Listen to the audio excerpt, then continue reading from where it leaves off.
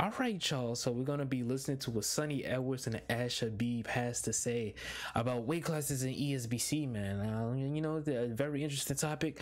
Let's hear what they say, man. But without further ado, let's get right into it.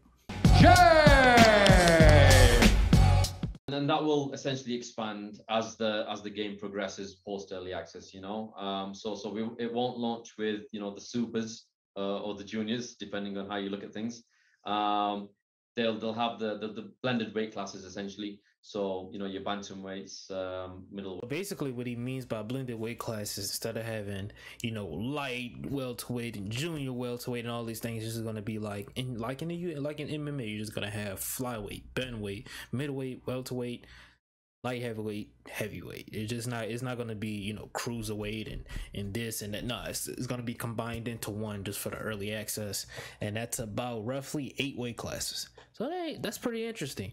Um, I know in the full game, Ash talked about earlier that they are gonna do separate weight classes, like for each individual.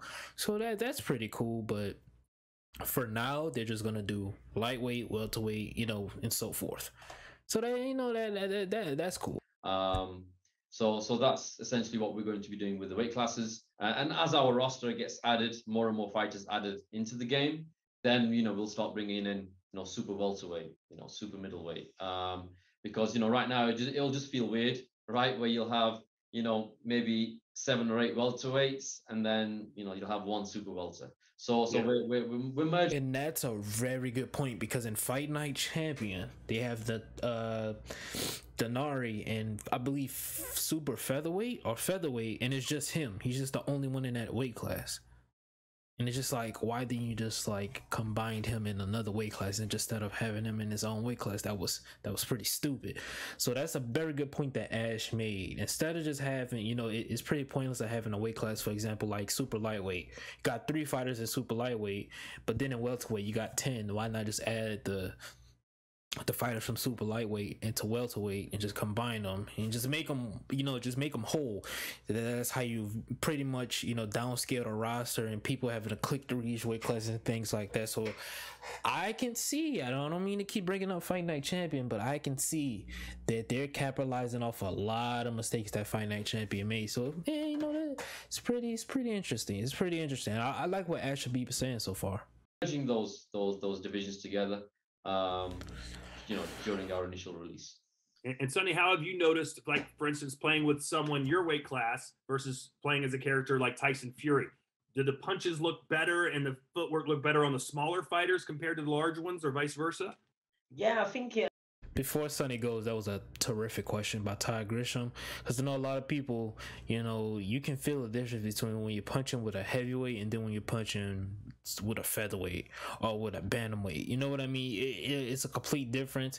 And this is coming from a world champion boxer right here. So he's going to, you know, explain what the difference feels like and things like that and compare it to real life. So I'm interested in what Sunny has to say. I'm really interested. In, it is nice to see that have an actual boxer who's interested interested and invested in SCI and ESBC, giving them pointers, telling them what they're doing right, telling them what they're doing wrong, and things like that. You know, so that's uh, you know that's pretty cool to see. I know Poe said Sunny Edwards looks like you know. looks like uh Ash Habib just told him to sit there and be quiet. That's pretty hilarious. But let's get right back into the video. Quite well. We even had like a little play about with the flyweight and the heavyweight and whatnot. Um, and you can see the difference. You can see the speed. You can see the the slight nuances. Even the punches might come out a bit quicker, and you can you can definitely feel the difference. Um, like visually, you can see the difference. So um, it will just be how I, I guess the the game scales size because obviously heavyweight fights tend to look different to a flyweight fight, tend to end different to a flyweight fight. So yeah, I think the whole big range will probably you know it'll it'll be interesting. You'll probably see uh, fans of the game finding a particular weight class that they'll choose to dominate. And it probably won't just be because of the actual fighters in there. It might also be how their play style, how they tend to like to play. If they want the faster, longer fights, or if they want a chance to go in there and bomb someone out over a couple of rounds. Probably more likely as a heavyweight, landing the right shots and more power behind them, and probably less likely and more likely to get a 12 round you know, back and forward. People get put down, people get up in a flyweight fight. So I think that will help find people in how they want to play the game as well because the weight classes will see a difference as you as they scale up and and And I think uh, pretty much Sunny Edwards is going to sum up pretty much what I was going to say.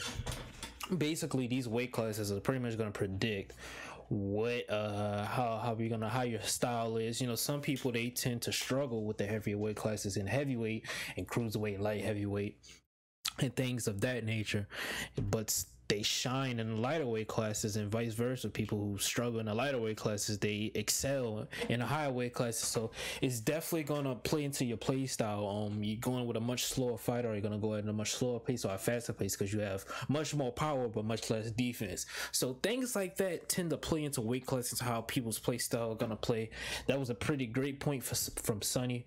Um, again, I really like how he's just like super involved in this as a fighter. You really don't see this too much with with video games. How how fighters are just like so invested into a game into the game that they're in you know? So hey, this is you know just pretty cool to see him sitting alongside the owner of ESBC it's pretty freaking crazy right? But um anyways man that's pretty much going to be the end of this video man. So if y'all have not already um like comment subscribe share if you're new join the family join the gang. I'll see y'all next time. Let me know down below in the comments what y'all think man. Just let me know down below in the comments what do y'all think. But uh peace love and prosperity. Love every single one of y'all man. Do something productive with your day. Be hear me it's not productive.